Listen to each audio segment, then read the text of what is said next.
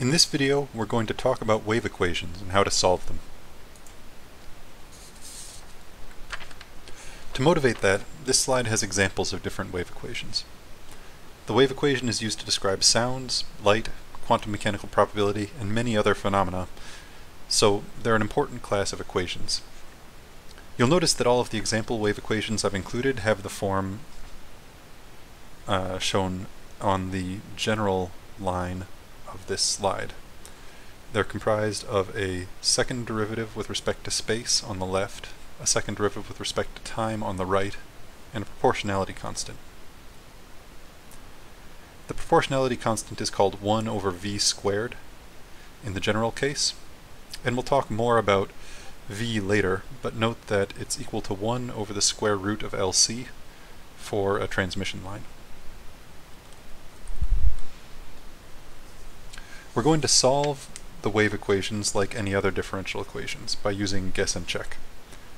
We're going to use a guess that wave equations are solved by a class of candidate functions f of x minus vt, where f is any function.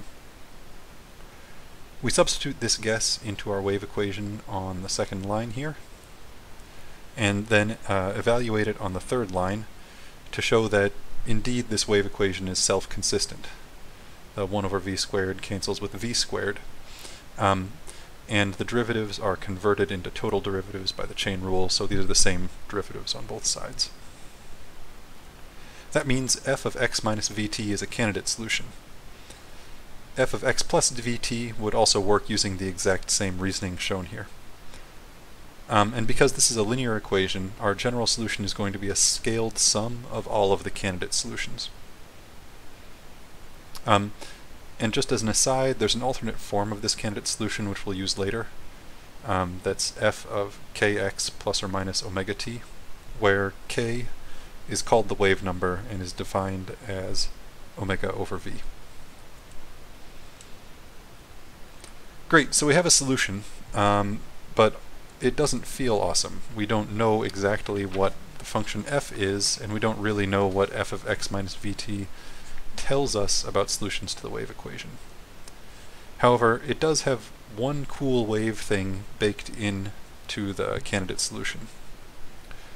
Um, and that's all of these solutions are guaranteed to propagate with time.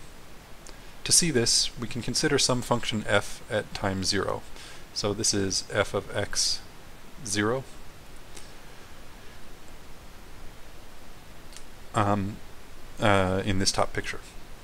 One second later, this would have changed from f of x to f of x minus v, which means it would have shifted to the right by v meters.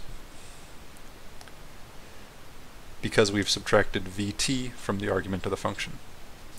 So the vt term causes solutions to propagate to the right at a speed of v.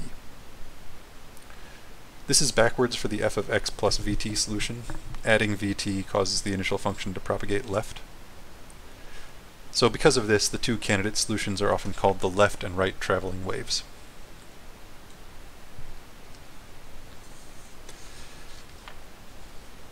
Even though this solution is propagating like a wave, we still don't know how to pick the function f. It turns out that f is set by boundary conditions on the wave equation, and one good example is a voltage source driving a transmission line. This schematic up at the top shows a voltage source driving a signal V in of t into a transmission line. We're letting the speed of the waves in the transmission line be 5 centimeters per nanosecond, which is one-sixth the speed of light. Now, because velocities are so fast in transmission lines, we often talk about them as fractions of the speed of light rather than big numbers.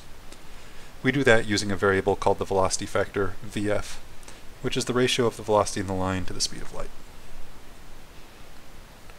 Um, and before we dig into this slide too deeply, I have to clarify one bit of notation. The voltage source is driving V in of t into this line, but up until now we've talked about a solution f of t. On this slide instead we're going to replace the letter f in f of x minus vt with v, uh, and we'll describe a function v of x minus vt. Um, we're doing that because we're talking about voltages on a transmission line rather than arbitrary functions being solved in a math problem. So v of xt and f of xt are both solutions to wave equations, but we're using the symbol v here because we're talking about voltages. So, at time zero and earlier, this is a pretty boring solution. We know that the voltage source has enforced v equals zero on the transmission line uh, for infinite time before uh, time zero. And so everywhere on the transmission line has to have zero volts, because zeros have just been propagating down it forever. However, that's changed by time one nanosecond.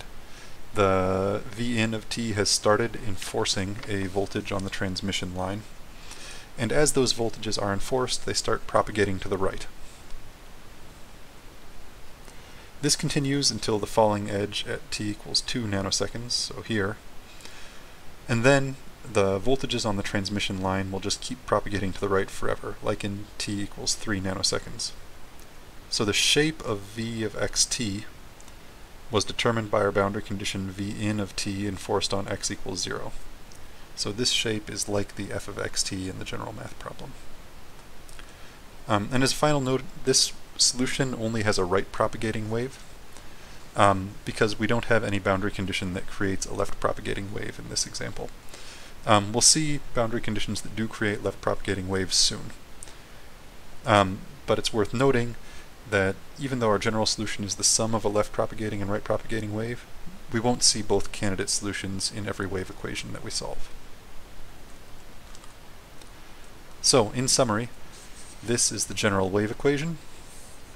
Wave equations are solved by f of x minus vt or f of x plus vt a superposition of left and right traveling wave solutions. The waves propagate at a speed v, and the function f in the solution is set by boundary conditions.